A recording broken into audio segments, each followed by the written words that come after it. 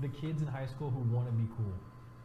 Don't don't disrespect my viewers like that. You guys literally have fucking Hall of Fame nerds, Hall of Fame threats in your chat that spam poggers, OMEGALUL the entire stream, bro.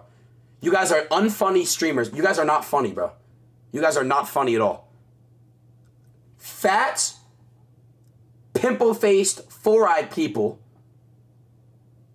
with social problems watch you guys, bro. And on top of all that, hold on, hold on, hold on, hold on. Hold on. They, like, I, like, here's what I'm trying to say though. Like, it's like, bro, I'm not even trying to be mean. There's nothing wrong with that, but it's like you're you're you're making now you're disrespecting my viewers, bro.